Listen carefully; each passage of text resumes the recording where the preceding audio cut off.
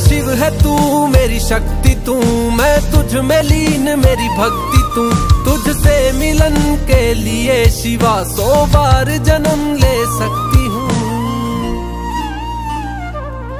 हर जन्म रवेगा मेरा तू, या सारी सृष्टि तेरी। सुनते जाइयो भोलेनाथ, कव पार्वती तेरी।